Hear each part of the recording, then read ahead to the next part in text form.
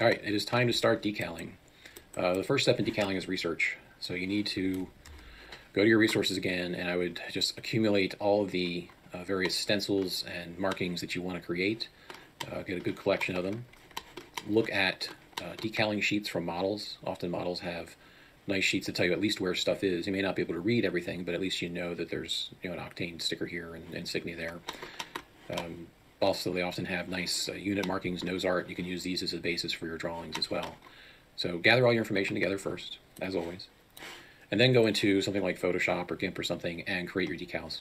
So here are just, uh, you know, I tried to match fonts and colors as best I can, and I've created uh, just several groups of, of decals that I'm going to put on the model. So I think I've got four sets of groups here for various bits and pieces of the plane. Uh, one thing that Substance Painter doesn't do that I'm aware of is, or it does poorly, is that anything that's black on your decals is going to be hard to see because when you project paint in Substance Painter, the background looks like this. Um, it's just black. So if you have black text somewhere on your decal sheet, you're not going to know where it is. Um, it's going to be very hard to position. You're just going to be really guessing.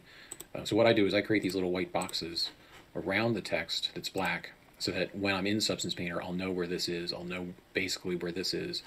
Um, and then, um, you know, I can position it using this box. And what I'll do is I'll keep this image open on the side, on the side monitor, while I'm positioning my templates so that I can kind of get it roughly in place using that white box as a as a targeting thing, and then I can erase the box if I need to. But just just to be forewarned, you'll see that when we get into Substance Painter.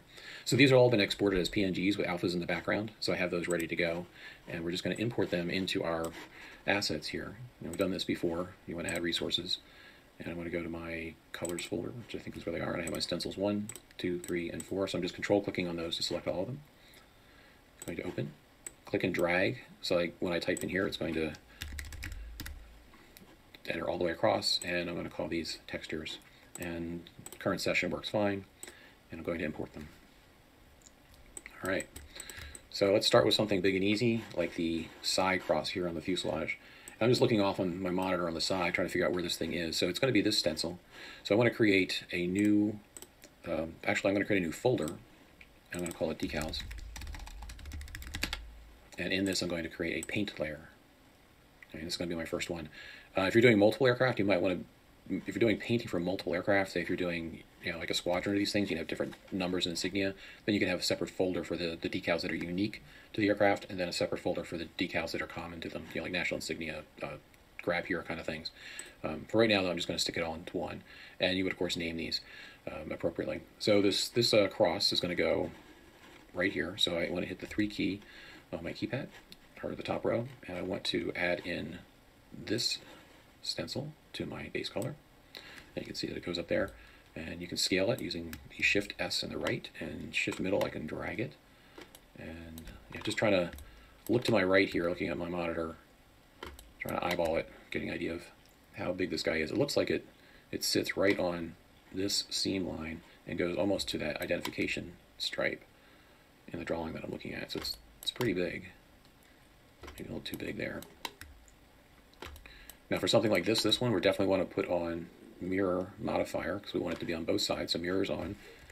And I'm just going to paint this right on there. Just making sure that your flow and opacity are set. All right, so that is that one. You see I've got a little bit too much here, which is fine. I can hit the 2 key, go into delete mode, or erase mode, making sure that my channel matches my painting channel, and I can just erase that. And it looks like I got some a little bit of extra junk here. I can get rid of that too.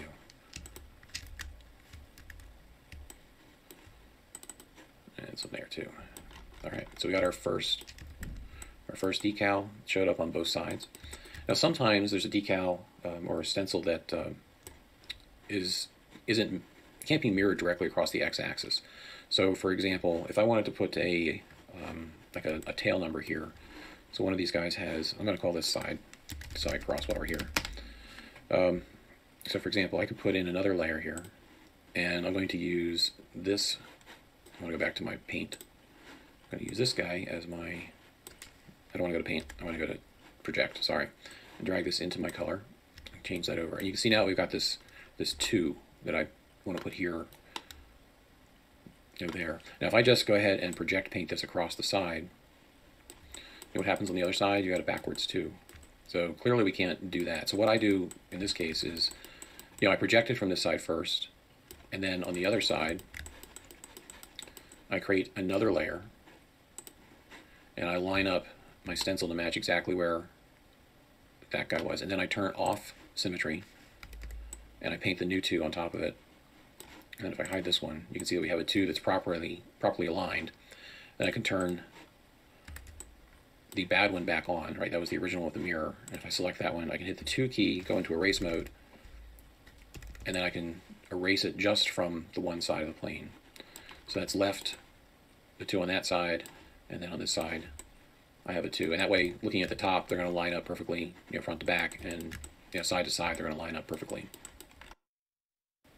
Right, let's talk about the spinner. Um, they have a couple different options. It can be solid. There's ones with like three-quarter black weight, and there's also that kind of cool spiral. So let's try the spiral. Here, go into front view and go into projection. And I've already dragged my texture there. And I just created the spiral in Photoshop using the twist function. I'm just going to try to size it up so I get most of it. We're just going to project it straight on from the front and see how it looks once we get that done. Uh, just make sure you get everything here because it would be impossible to line it back up once you move the plane around. So looks pretty good. Go back to brush mode. And we got a spirally nose there. So we're going to call this spiral. And we're going to put a black mask on it to hide it. And then I can go into my mask mode. And by object, I want to take all those bits. And now we have our spirally tip. I realized that I didn't actually demonstrate those little white boxes that I talked about earlier on how to position stencils that are black or very dark. So I'm going to create another layer here and I'm going to um, put in the, the grab here. There's a, there's a grab here uh, Aufbacken stencil that goes above this handhold. And I know that by looking at my Photoshop image that it's here on my decal sheet, but you can see that in Substance Painter there's nothing here. You can't see anything. So I'm just using this this white box here to line things up and scale it. Because otherwise you'd be just kind of flying blind here. So I'm just getting the edge lined up. And there's, you know, there's still some some blindness going because I don't know exactly, you know, where that, that stencil is. But, you know, I can start putting it in here. And uh, if I'm lucky, I get a pretty good, pretty good placement. Now it's got a little extra stuff there. I can erase that easily enough. Uh, you can see I missed stuff. So before actually moving anything, uh, it's a good idea to just keep make sure you paint stuff or else you're going to have a tough time lining stuff back up again. And I'm going to do the same trick on the other side where, uh, you know, like I did with the number two. And here you want to make sure you don't um, move the camera either to or from the image because it'll be harder to get your scales exactly the same. And in this case, I'm just going to create a new layer and just paint it just manually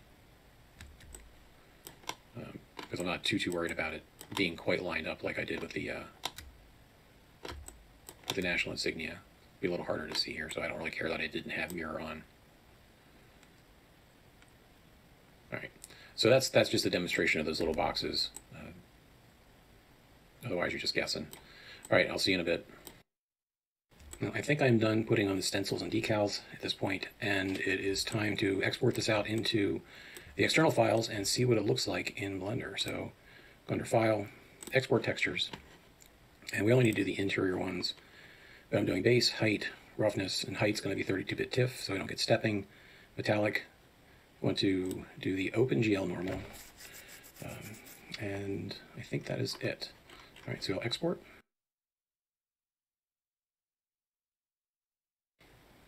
All right, save settings. Save the file just to be safe. All right, here we are back in Blender. I've added uh, an image plane here. It's just a picture of sky. Took out the window of an airplane just to put something in the background during our test renders, just for fun.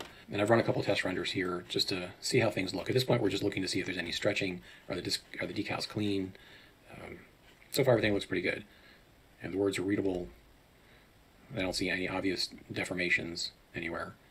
Uh, the next step is going to be adding some distress to the aircraft. Uh, worn edges, we're going to be adding some dirt to the panel lines, uh, probably going back and readdressing the bump map, or at least enhancing it to help um, you know add some skin wrinkles where so we can kind of highlight the underlying structure. But in general, the project's going along pretty well. So I will see you in the next one.